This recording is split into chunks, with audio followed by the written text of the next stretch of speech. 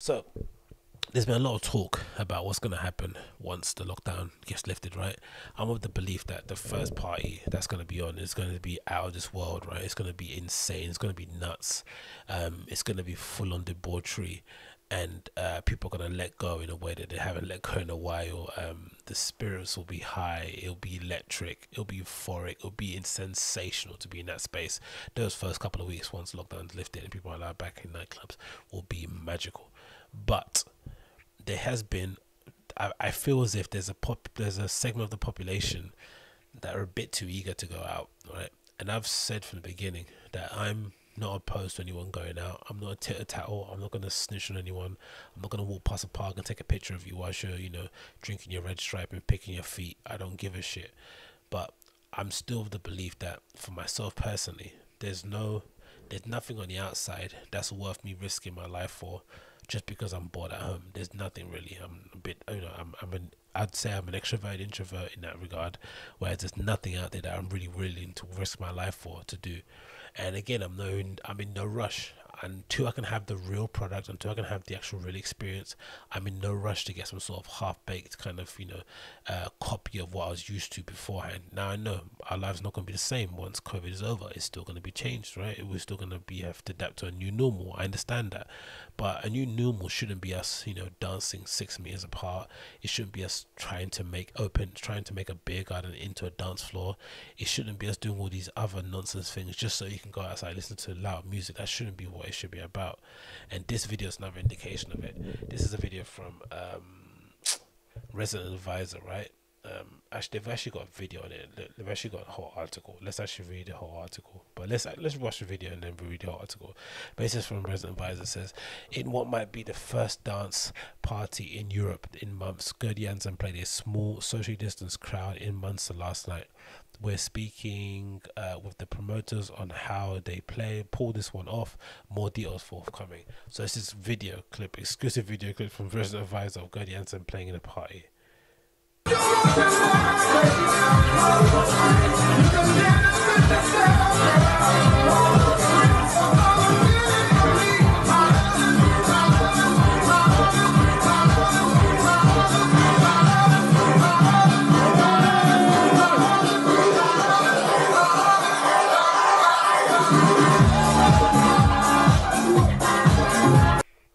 okay, the vibe is amazing. It's electric. It's giving me actually goosebumps watching it. It's great to see people actually dancing and having a good time in the rave. That's one thing you notice, right? People actually dancing. I guess the, the time they spent away from the dance floor, you know, has made them realize that oh, dance floors are for dancing, not for taking pictures and twirling around your friends and pretending you look hot, which people are doing there. But you know, it is what it is.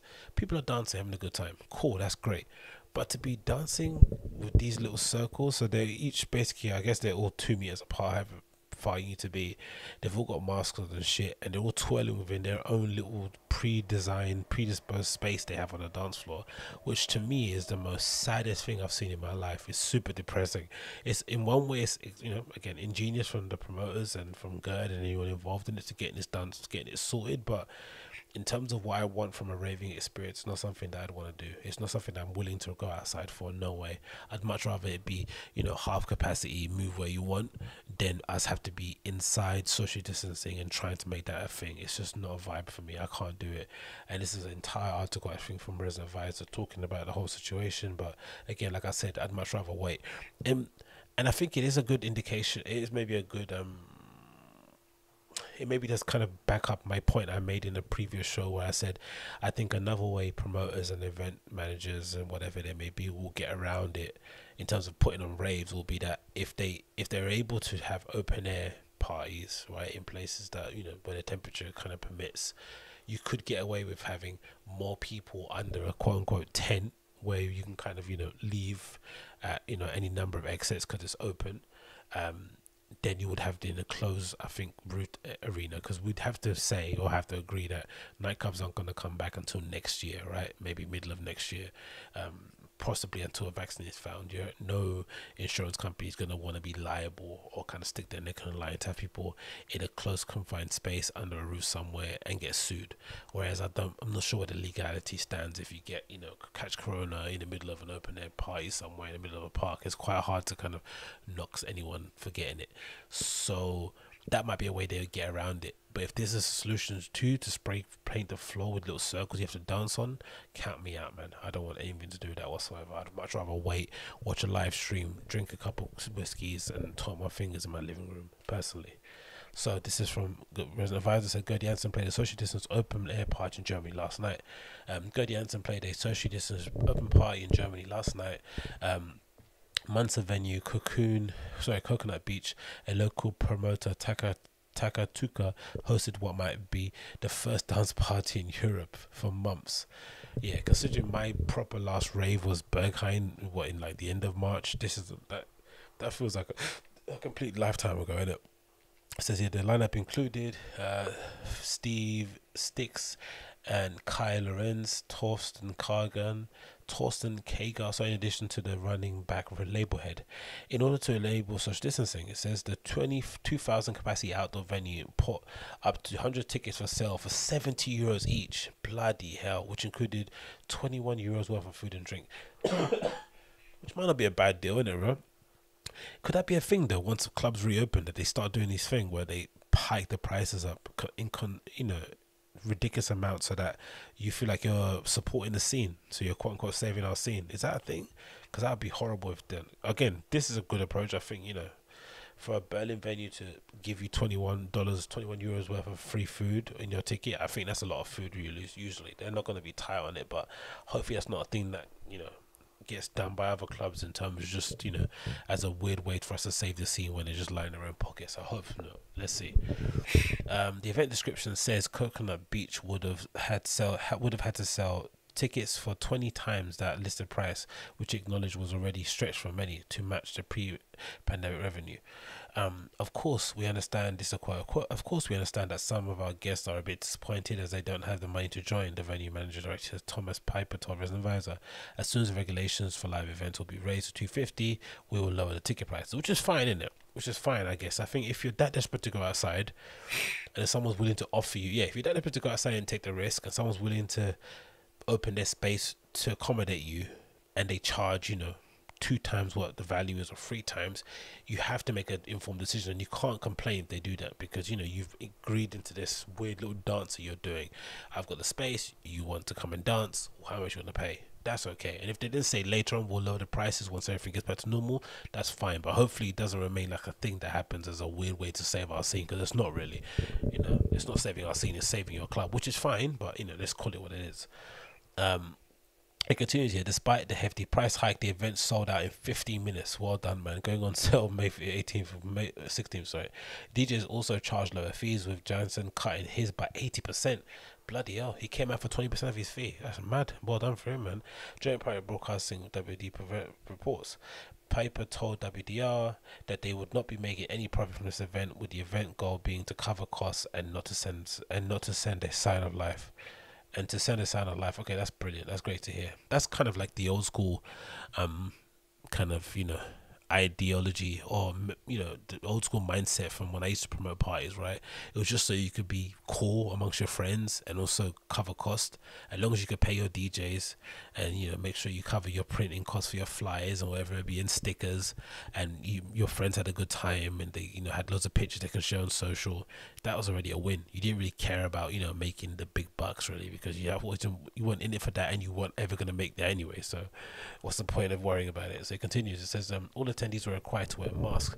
Those who did not have a face covering could buy one at the door. The event um, description says the venue would make all the efforts to be hygienic once inside the venue, which was only half in use for a better atmosphere. Ravers were assigned a table and a dance floor choke circle. The only space they were allowed to remove face mask all set at 1.5 meters apart. Bars were marked to indicate safe spacing and fitted with Perspex shields to protect staff who were wearing masks in accordance with Germany guidelines. The raised DJ booth had also been pepper barrier on the dance floor. Non cash methods of payment were encouraged but not required. Okay, awesome. So to eliminate any touch points. But I wonder what people were doing when they were going to the toilets, eh? I wonder if everyone's on their best behavior in that regard. What do you do for a social distance party with, you know, only 20% of the occupants in there? What do you do?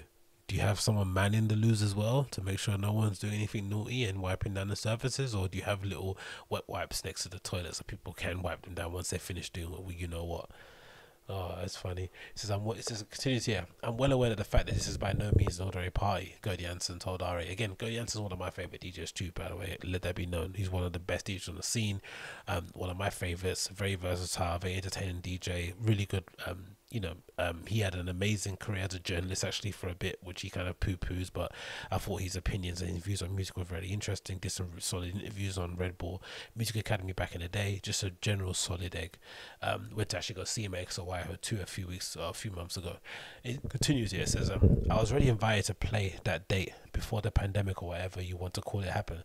So when I got the call to play for a considerably shrunken edition, 100 people only, I thought of a prank at first, and after some reflection on it, I agreed to do it. I felt that it was kind of my duty to do my part in helping Thomas Piper for Docklands Coconut Beach and his crew pull this off. Yeah, it was good.